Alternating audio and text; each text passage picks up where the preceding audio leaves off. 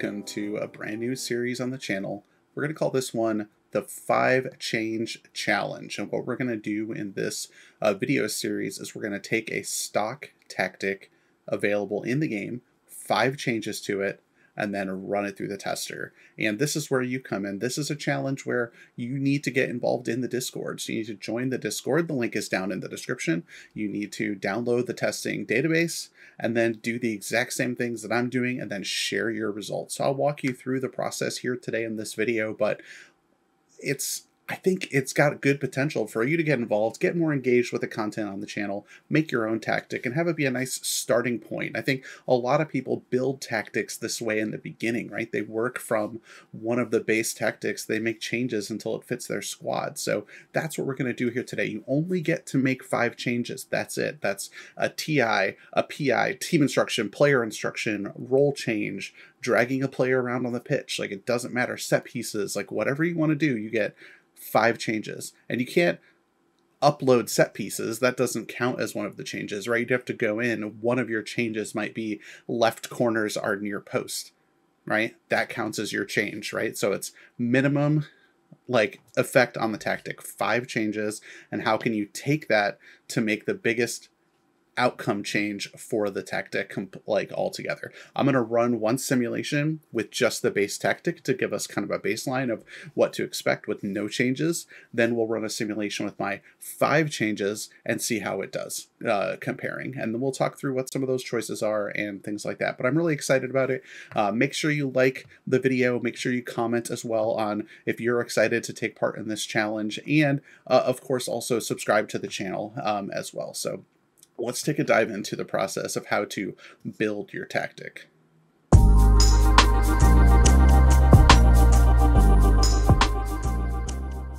So today, in our first installment of this series, we're going to use a tactical shape that is very popular with a lot of FM users, and it's one that I haven't touched yet in the Total Tactics series either. So we are going to work with a 4-2-3-1 system. So extremely popular. It's a tactic you see a lot of in real life, um, and I think it'll be fun to play around with it here in this series. So when we will choose a tactical style first, I'm going to choose Tiki Taka, and then one of the base tiki-taka formations is this 4-2-3-1 wide.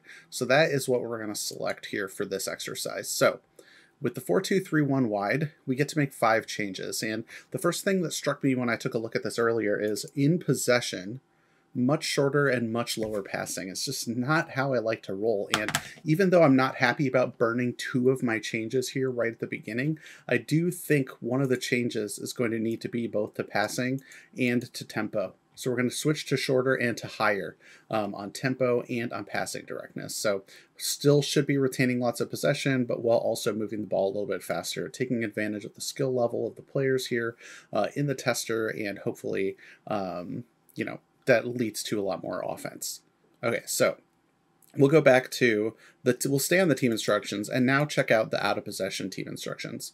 Much higher line of engagement and much higher defensive line. I'm not comfortable with that. I'm going to use my third change on a higher defensive line. It's my preferred uh, depth, sometimes even standard, and move this line of engagement back down to higher, but I don't want to burn four changes on team instructions. Just three is enough for me, I guess. Um, and then we're going to switch in over to the player roles and see what we can do here now it's a reasonably defensive setup, right? A CM defend and a DLP support in the midfield.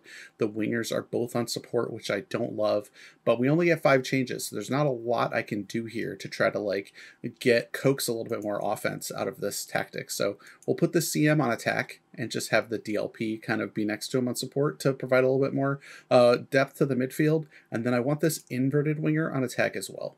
I'd rather have the invert inside forward be on attack, but the CM attack is going to be driving this channel. The inside inverted inside forward will be kind of supporting it. Maybe make a passing triangle between the CM attack, the AP, and the inverted inside forward.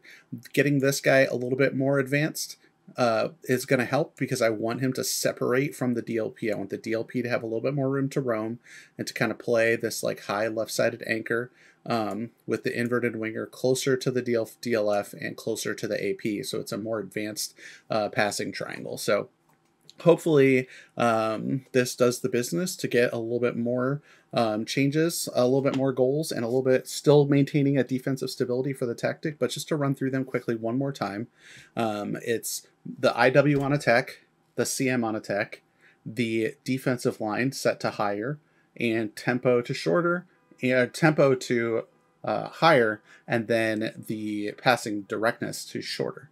So those are the five changes. Uh, we'll see what five you come up with as well. Just remember, like you can join the Discord, download the tester there as well, and go through the same process that I just went through um, to set up your own tactic and run it through the tester and see how you do. Um, but here, here's the process you go through next, right? So you're going to quick pick the team and then decide if you want to make any changes. I like Lozano more than Politano, uh, for example. I don't like Stuart Dallas. He's just too slow. I prefer Mario Rui. I don't like Koulibaly. His mentals aren't very good. I prefer Amir Rahmani, so he's going to make it in. Um, Insigne, Zielinski, Lozano. I don't love Tonali either in this like advanced role. I'd prefer Matteo Pessina um, who's down here. So we'll get Pessina in there.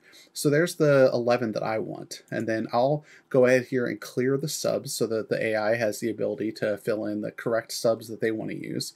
And then you just click over here on home, my profile, go on vacation, and then make sure you tick both of these boxes. You can set the date to the 13th of May.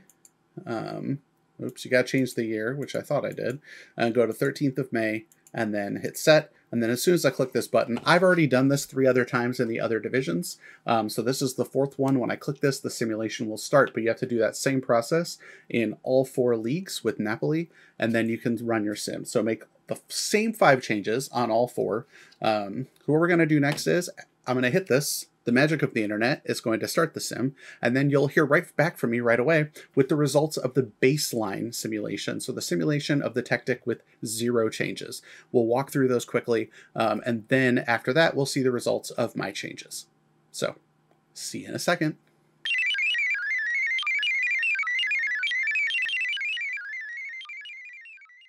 All right, so let's take a look at the default results here. So this is the base tactic with no changes, and it's a little bit rough. You can already kind of tell from these like snapshot pics, pictures in the leagues in focus that the uh, elite teams leagues did not go very well. The balanced team league went slightly better, and the average team league got us sacked. Um, the underdog league, we won the league, but let's talk a little bit about the average teams league really quickly. Getting sacked is unfortunately a bug in our database that we have not had a chance to address. Um, it is possible to get sacked in both the average teams league and the balance league, so that's just kind of an indication that the tactic was so bad that it got sacked.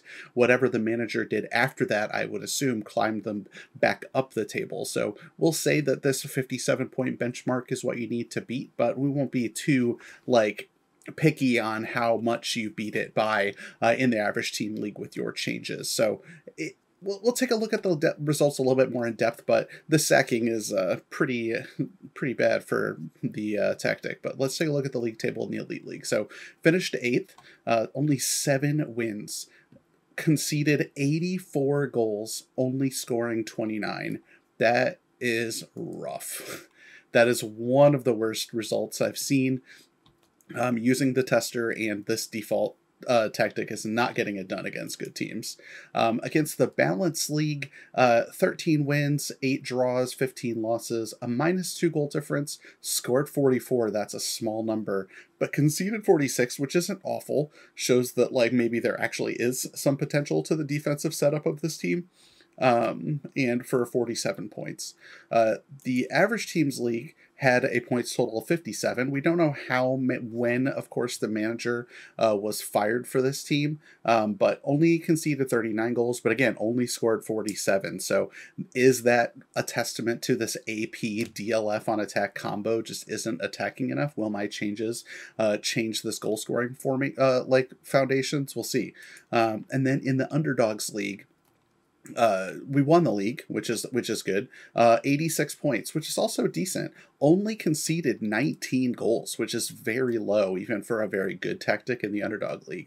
Only scoring 61 is also very low. So, low scoring tactic in the underdog teams league, the quality of the squad is enough to really shut down the rest of the teams in this division for an 86 point finish, which is which is very good. I'd I'd give that like a B um, in the underdog teams league, which is which is reasonable, right? You're looking for over 90 and like a plus 60 goal difference in that kind of area to have like kind of an A minus A tactic in the underdogs league, and this does fall short of that slightly, but um, you know, a mixed bag of results. We'll go back to the leagues and focus here and just again point out that you need to beat 26 points in the Elite League hopefully we can all accomplish that. You need to be 47 points in the balance league, which we should mostly all be able to accomplish as well. And then don't get sacked in the average teams league and hopefully finish with more than 57 points. And let's see if we can't improve on the underdog league finish. But that's going to be maybe a little bit more difficult to do because um, 86 points is a decent total uh, in the underdog team league. So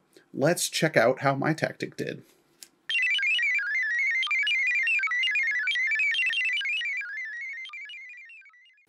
All right, jumping into this and taking a look at my results.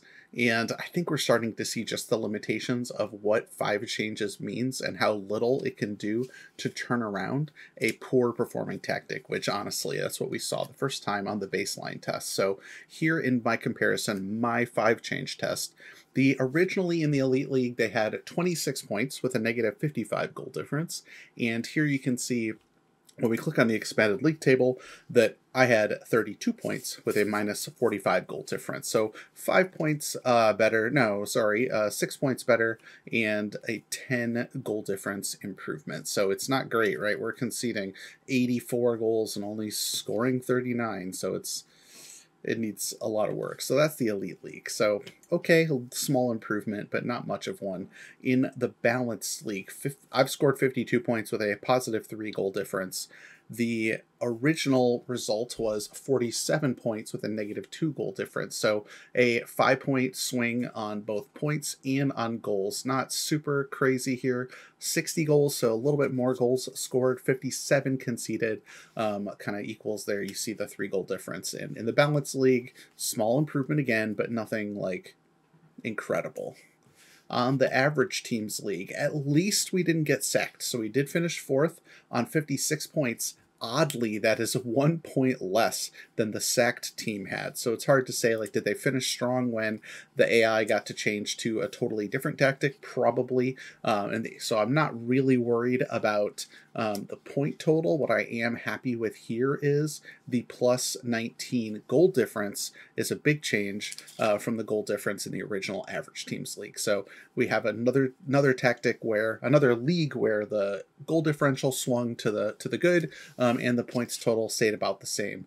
Um, on the underdog league, though, it's also again roughly the same. So the original league had 86 points with a plus 42 goal difference. We only had 83, but with a plus 47 goal difference. So the like peripheral numbers are a slight improvement. The uh, points total is almost exactly the same. Again, a pretty good underdog really team's result, but not like incredible. Um, so when we go back to the tactic here, this is the uh, let's let's take a look at some of the stats from the Elite League where the team did very poorly. Um, here on the tactics screen, uh, sort by appearances, and it looks like the goals came from Osimhen, as we would have thought, but the only scorer in double digits. and Insigne hasn't done very well. Bremer and Ospina, the only players averaging over a 7.0. Um, when we check the same thing in the balanced league, uh, we're looking at 18 points goals from Osimhen, and then Insigne, that inverted winger on attack, had 17 uh, goals and 13 assists, which is pretty great. Uh, Tonali, as well as the CM attack, chipped in with seven goals. I forgot to put Pessina in the lineup here, I guess, on this one. Um, and uh, it's a better spread, right? We've got two couple defenders with the plus seven, Insigne with the plus seven. We've got Osimhen again with the plus seven. And in the average league where we didn't get sacked at all as well, um, 20 goals for Insigne, who actually outscores Osimhen. So this inverted winger is providing a lot of offense in the tactic. My guess is that perhaps Zielinski, uh, maybe not. Zielinski had three assists and Fabian had 10. So maybe this DLP is supplying uh, Insigne a fair amount, which is actually pretty good. 10 assists from a DLP is a high number in only 36 games. So I do think that is maybe an intriguing little combination here in this tactic. But again, here, Fabian, the, the DLP, the striker, the inverted winger, the CM attack, Pessina, who also had double digit goals, and a central defender and the right back all able to put in ratings over seven which so you can the, the average team leagues they did pretty well so the the balance the in the in the underdog league it's more of the same um you do see a lot of players in the sevens because we had obviously a much better season here. But I'm interested to see Fabian's assists were down a little bit. Pessina's were high though, so um, you know, it's just a little bit of column A, a little bit of column B. The assists are kind of coming from all over the park.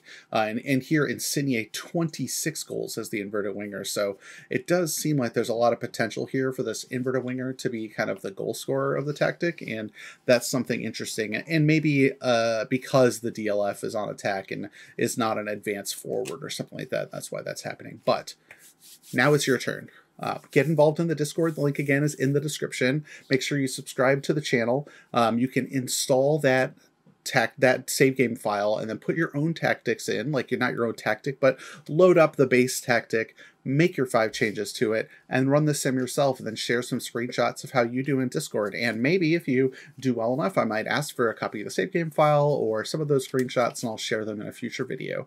Um, but until then, I'm Stick Piano. You can check me out on Twitter, um, also on Twitch, where I stream a save with Esbjerg um, in the Danish League, where I'm trying to win the Champions League, and it's been a really fun journey so far. So check me out on all my platforms. All of those links are again down in the description, and leave a comment. Let me know how you feel about the series and how the challenge is going for you as well.